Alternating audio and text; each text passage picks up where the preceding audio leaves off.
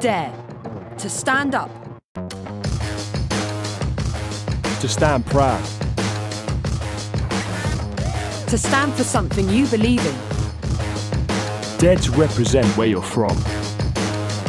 But also where you're going. Dare to do it with style.